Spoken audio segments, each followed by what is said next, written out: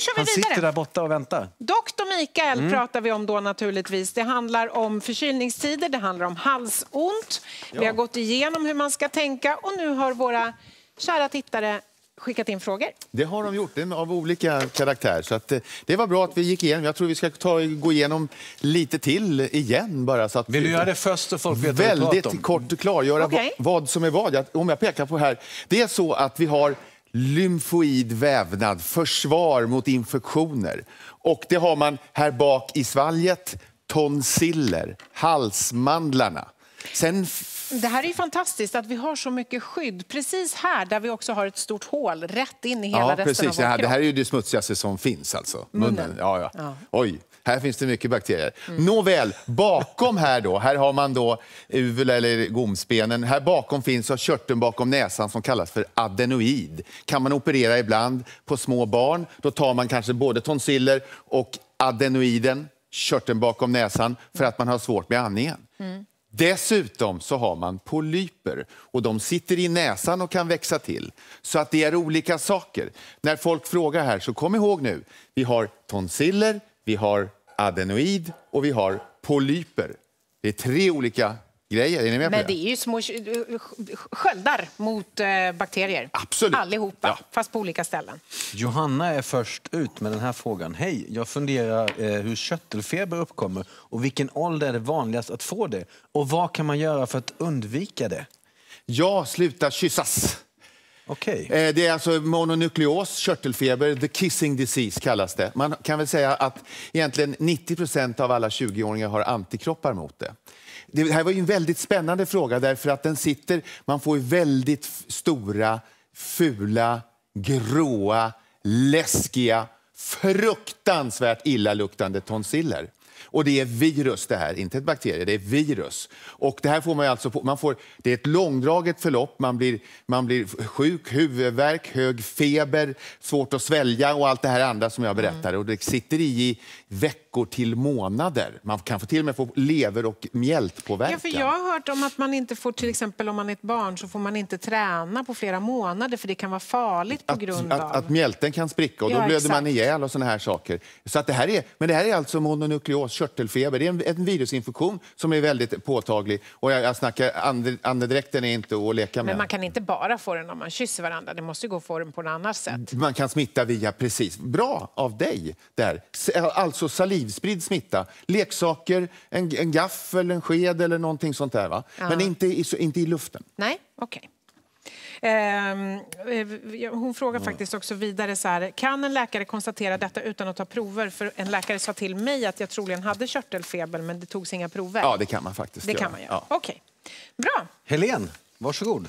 Helen, min sambo på 35 år har på åtta månader haft bakteriell halsinfektion, halsfluss, sex gånger. Har fått Kovepenin, alltså antibiotika, varje gång förutom nu senast när han fick en annan antibiotika.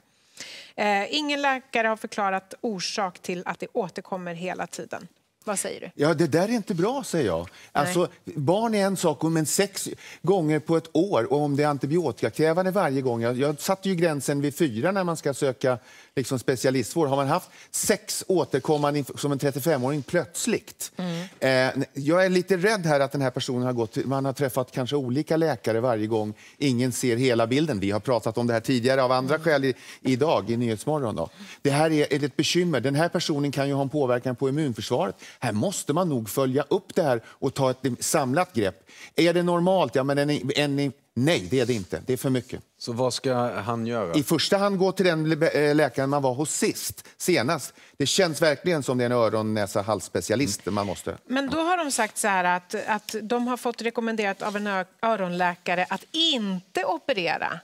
Ja, men operationer men det, det kan vara en sak. Eh, Det, det, det kan man göra, den diskussionen kan man ta. Men det här är ju återkommande, det är ju ett annat större problem också. Ja, okej. ur, ur infektionshänseende. Så det här kan man kolla på hur man har med antikroppar eh, överhuvudtaget och sånt där. Så Helen, då vet du, kräv att få hjälp av senast besökta Mm. läkare. Min son på ett och ett halvt år började plötsligt halta efter en veckas förkylning och 1177 bad oss åka till akuten. Infektionsvärdet hade gått upp och han hade feber. De misstänkte höftsnuva, gjorde ultraljud och röntgen av höft men hittade ingen vätska, svullnad eller rodnad. Återkom två dagar senare för infektionsprov och det hade gått ner till det normala. Hältan blev dock värre. Eh, vad är egentligen höftsnuva och vad tänker du kring det här? Ja, alltså de har nog gjort rätt och det kan höftsnuva, det var lite nytt, men det finns ett annat fint ord som heter eh, coxitis simplex och det är nog höftsnuva. Alltså man får ledbesvär av in, utlösta av infektioner. Mm. Och det kan man få, det här är typiskt i höften på eh, pojkar mellan 3 och 8 år, men pojken var lite yngre, men det, fin, det finns mm. ju.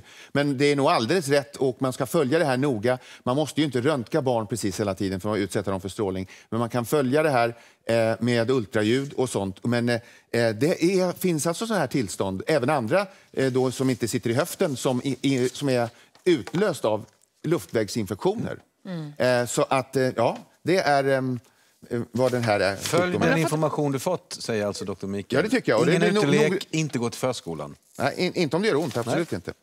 Man får se så att den här, man, det är viktigt att den, höften utvecklar sig normalt. Vi har Angelica som har skrivit Hej, jag har en fråga om rethosta. Min rethosta är som värst på morgonen och på kvällen. Varför är det så? Kan kroppen känna av vilken tid på dygnet det är? Vilken bra fråga. Ja, alltså, men det är väl att man ligger ner på mor- Ja, Nej. lite grann. Men på morgonen så har ju, då är det torrt och irriterat och man kanske har sovit med öppen mun. Nu vet ah. jag inte varför. Det här är ju väldigt överrepresenterat vid eh, rökar, för rökare. Eh, men att man har den här rethostan, var därför vi tog med frågan, eh, att man kan ha det flera veckor efter en vanlig förkylning. Eh, mm. det, och det är inget farligt. Och det ska inte begränsa en från träning och såna här saker nödvändigtvis. Rethosta är sällan farligt. Kommer det till med blod eller något sånt annat, då är det en annan historia. Men eh, eh, de går alltid över de här. Fungerar ingefära-shot i förebyggande syfte mot förkylning eller är det bara en myt, eh, undrar det, Anna? Det är en upplevd eh, förbättring man känner av. Eh, så då får den personen själv svara på om det funkar eller inte. Vetenskapligt stöd för att det skulle fungera finns inte. Nej. Får jag svara igen Gott då? nog så. Bara en sista fråga. Kan luktsinnet påverkas av en operation där polyp bakom näsan har tagits bort? Ja, verkligen. Och det är lite dystert att höra att leva utan lukt. Alltså, de sitter i näsan, var därför jag visade det här förut. Mm. Det kan det. Det är inte bara att det finns baksidor med alla operationer, med alla behandlingar. Man förlorar ju luktsinnet efter en, en vanlig förkylning. Kanske är, är någon månad så, fast man inte ens tänker på det själv. Mm. Men det går inte att vara parfymförsäljare om man inte har något luktsinne. Det är svårt. Alltså. Mm. Färdigsnackat för nu. Tack för idag, Dr. Mikael. Läkarpodden. Snackar ni vidare? Jajamän, om mm. halsen denna tisdag.